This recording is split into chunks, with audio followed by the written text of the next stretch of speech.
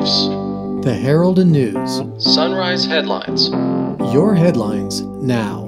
Good morning, Klamath Basin. It's Friday, March 15th, 2019. I'm Kurt Liedtke with the Herald and News. Here are a few stories you can find in today's edition of the Herald and News. These are your Sunrise headlines.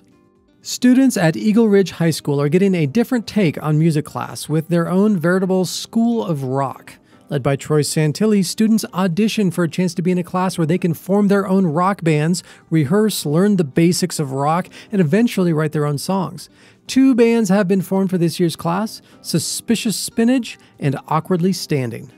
Oregon Senator Ron Wyden will be in Lakeview and Klamath Falls today for two public town halls.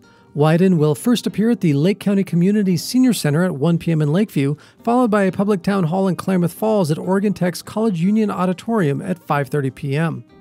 Property owners in Northern California who share boundaries with Bureau of Land Management public lands may now apply for permits to clear flammable vegetation from public lands adjacent to their private properties. The BLM Redding Field Office will issue free hazardous fuels reduction variance permits for public lands in Siskiyou, Butte, Shasta, Tehama, and Trinity counties.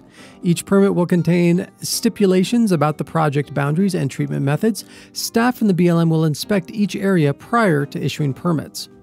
Altamont Drive in Klamath Falls between Anderson and Berry Avenues will be closed from March 18th through the 22nd for pruning of trees along the power lines and the rights of way.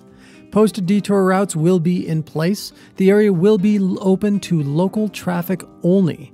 Work may be delayed due to weather, equipment breakdown, or other unexpected emergencies.